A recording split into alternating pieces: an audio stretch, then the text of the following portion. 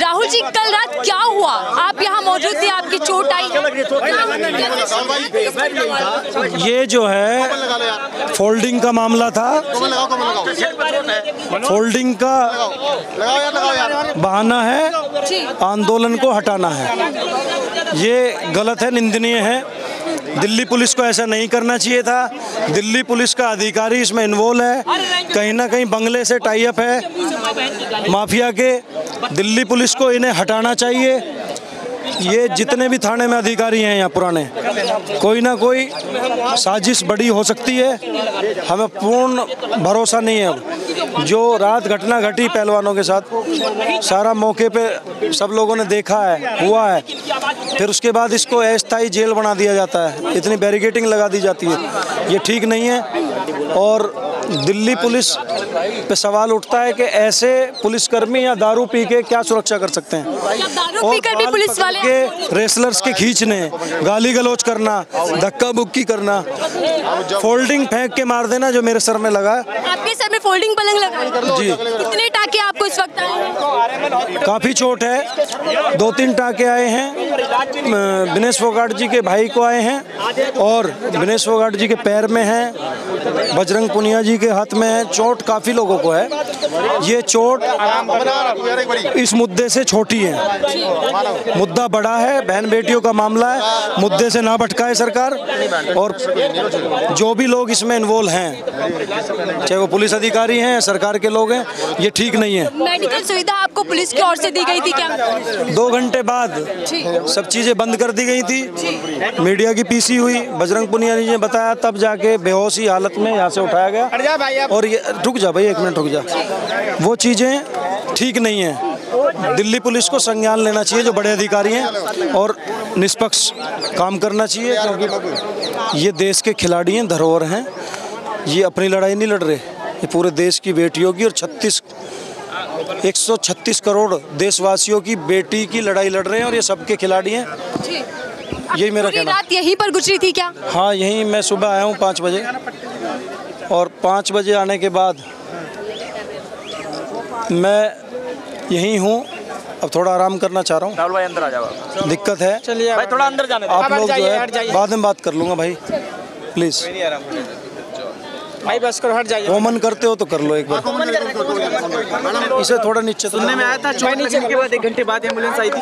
बिल्कुल एंबुलेंस बाद में बुलाई गई है। थोड़ा सा माइक और ये लोग तो सोच रहे हैं कि भाई नीचे कर लो। भाई भाई हाथ इनको तड़पाया जाए जितना भी। पहले पानी बंद किया खाना बंद किया एंबुलेंस रात नहीं आने दी। एक डेढ़ घंटे बाद पीसी के बाद आई। तो ये चीज़ें ठीक नहीं है। ये प्रोटेस्ट पीसफुली है। कैसे हुआ रहा? विवाद स्टार्ट कैसे हुआ? भाई यहाँ जो पा, पानी बारिश हुई है दो दिन से हो रही है सारे गद्दे भीग गए हैं। एक आप जैसे ही भाई डोनेट जो है चार से पाँच फोल्डिंग करना चाहता था दिन में आया शाम के समय। उसने कहा मैं भिजवाता हूँ खरीद के। उनसे कह दिया गया उन्होंने भिजवाए। तो हमारी महिला खिलाड़ी लेने गई पूछ के गई एक यहाँ पुलिसकर्मी थे उन्होंने कहा ले आओ। एक एक करके ले आओ आप चार पाँच हैं तो। वो गई, वहाँ एक धर्मेंद्र नाम के अधिकारी आते हैं, गाड़ी में से उतरते हैं और उन्होंने सीधा बैरिकेटिंग रोक के और वो बाहर की तरफ़ ही थी। उनके साथ बाल पकड़ के बदतमीजी शुरू की, धक्का मुक्की की, कोई महिला पुलिस नहीं थी। हम लोग यहाँ से देख रहे थे, हम फिर वहाँ गए। वहाँ पूरी हाथापाई करना शुरू कर दिया उन्होंने। उस पर ऑब्जेक्शन किया। ऑब्जेक्शन करने पे उन लोगों ने जैसे फोल्डिंग उठाया पुलिस तो पुलिस की तरफ़ पुलिस वालों ने वो फेंक के मारा। विनेश फोगाट को। तो वो मैं पीछे खड़ा था मेरे को वो आके लगा है। और उसके बाद मैं गिर गया हूँ उसके बाद बैरिकेटिंग पे चोट लगी है लात घूसे डंडे जो भी चला है वो सब हुआ है। राहुल जी आपने बताया पुलिस ने अनुमति के पलंग अंदर लाने की कोशिश की जा रही थी। राहुल जी आपको डंडे से भी अनुमति नहीं बिना अनुमति के पलंग को अंदर ला रहे थे मतलब यहाँ महल बना रहे थे। ये अस्थाई है धरना। पुलिस वालों का कहना था कि सोमनाथ मतलब उसको परमिशन है। पार्टी के नेता उसको परमिशन है जो माफिया है जो अपराधी है कि वो अपने महल में सोएगा और सिंहासन पे बैठ के पीसी करेगा। पहलवान रेसलर्स यहाँ पानी भरा हुआ है पलंग नहीं बिछा सकते। क्या उसकी भी परमिशन लेनी पड़ेगी? फिर तो खाने की नहाने की सबकी परमिशन लेनी पड़ेगी। आपने बताया पुलिस वालों ने शराब पी रखी थी लगभग कितने लोगों को पुलिस वालों ने शराब पी रखी थी? ये सारी घटना जो पुलिसकर्मी ने दारू पी हुई थी, उसकी वजह से घटी है। और यहाँ मैं तो एक दो को नहीं कहूँगा, ज़्यादातर ने किया हुआ होगा। और मुझे तो लगता है वो धर्मेंद्र जो हैं, अधिकारी, जहाँ तक है उन्होंने भी कुछ ना कुछ कर रखा था।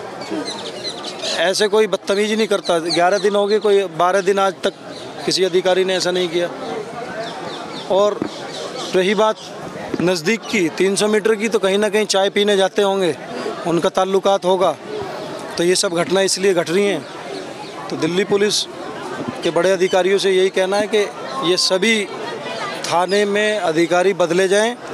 कहीं ना कहीं पुराने ताल्लुकात हैं और कोई बड़ी घटना को अंजाम देना चाहते हैं। आपको लगता है कि इसके पीछे साजिश थी? ये कितनी बड़ी साजिश कर लें? हो सकता है साजिश है। लेकिन लास्ट दम तक एक एक खून का कतरा अपनी बहनों के लिए, इस प्रोटेस्ट के लिए है। हटने वाले नहीं हैं जब तक जीत के नहीं जाएँगे।